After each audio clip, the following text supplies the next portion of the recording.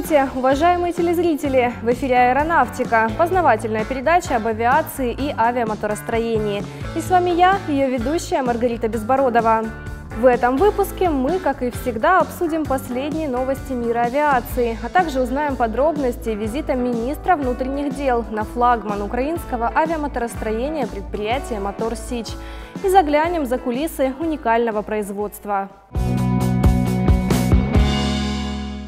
Украина присоединилась к единой системе маршрутных сборов Евроконтроля. Отечественные авиакомпании обязали вовремя платить по счетам. Государственное предприятие «Украэрорух» выходит из коронавирусного кризиса. Пилот самого большого в мире грузового самолета «Мрия» спрогнозировал, сколько еще будет летать авиалайнер-гигант. Далее в эфире рубрика «Новости авиации».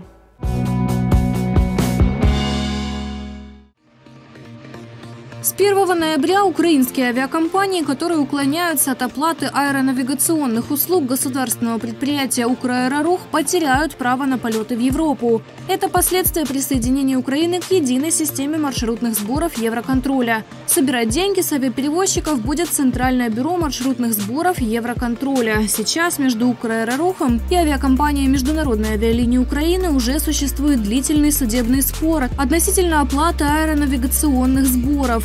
Но это и другим компаниям запретят летать в Европу только в том случае, если они продолжат игнорировать оплату счетов после 1 ноября.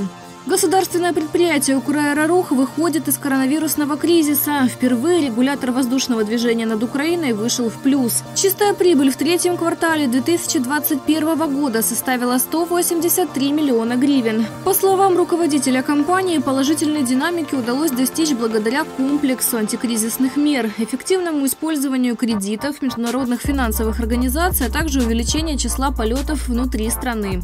Командир экипажа Ан-225 Мрия Дмитрий Антонов спрогнозировал, что самый большой в мире самолет сможет летать до 2050 года. Как объяснил пилот, у самолета нет четко определенного ресурса, и, по его мнению, Мрия будет летать без проблем еще минимум 25 лет. Конечно, при должном обслуживании. Специалист отметил, что и в самолетах «Мрия», и в самолетах «Руслан» постоянно проводят модернизацию комплектации этих крылатых машин. Предприятие «Мотор Сич» посетил министра внутренних дел Украины и представителя Министерства здравоохранения. Президент акционерного общества «Мотор Сич», герой Украины Вячеслав Богуслаев провел гостям экскурсию по предприятию и обсудил с делегацией перспективы развития вертолетостроения в Украине. Об этом в следующем сюжете.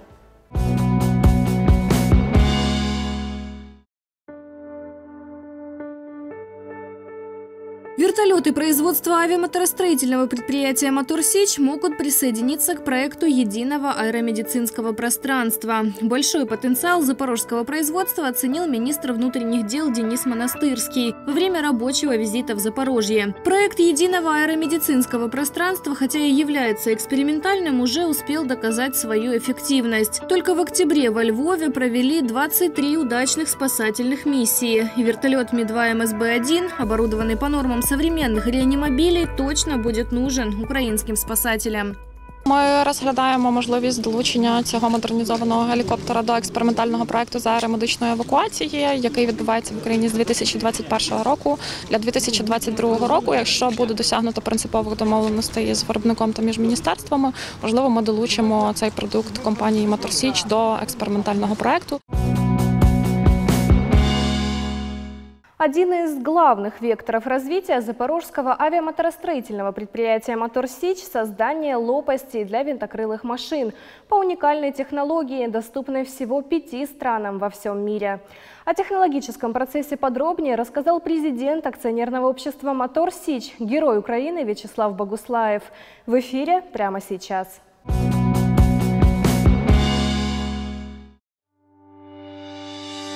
На предприятии «Мотор Сич» технология производства металлических лопастей освоена полностью. Теперь пришло время наладить серийное производство этих деталей из композитных материалов. По словам президента акционерного общества «Мотор Сич», героя Украины Вячеслава Богуслаева, композитные лопасти полностью украинского производства – это не мечта, а реальная цель.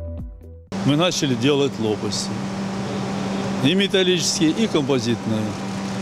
Время металлическим лопастям сходит еще в 2-3 года, и мы их делать не будем. А время композитных лопастей наступает. Вы понимаете, что не только надо понимать, как их делать, э, точность, аэродинамика и прочность. Дело в том, что мы привлекаем, мы увлекаем за собой научные центры Украины. Вот на сегодняшний день, если по металлам, по материалам в Украине все есть, все есть. А по композитам материалам ничего нет. И вот сейчас мы от Чернигова, Чернигов, Львов, Черновцы, э, Днепропетровск и, Ха, и, э, и, и Харьков подтягиваются по композитам. Делать лопасти из композитов моторовцы уже научились. Вопрос только в материалах для них. Одним словом, ничего здесь уже не осталось из неизвестного. Трудности только в приобретении материалов. Дело в том, что все материалы или большинство материалов на композит лопасти имеет, к сожалению, ограниченный срок годности. Ну, клеи, э, лаки, у них там три месяца. Мы не можем купить на год. И нам нужно найти такого поставщика, что он равномерно по мере израсходования мог поставлять необходимое количество. Над этим мы работаем. Ну, партнеры у нас европейцы, мы с Европой работаем. Э, сейчас китайцы подключаются. Но это лишь временная проблема. Как подчеркнул Вячеслав Богуслаев, в Украине достаточно предприятий, которые способны обеспечить авиамоторостроительный флагман «Мотор Сич» всем необходимым.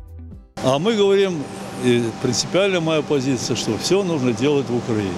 И мы можем делать в Украине. У нас много было и осталось еще ткацкое производство.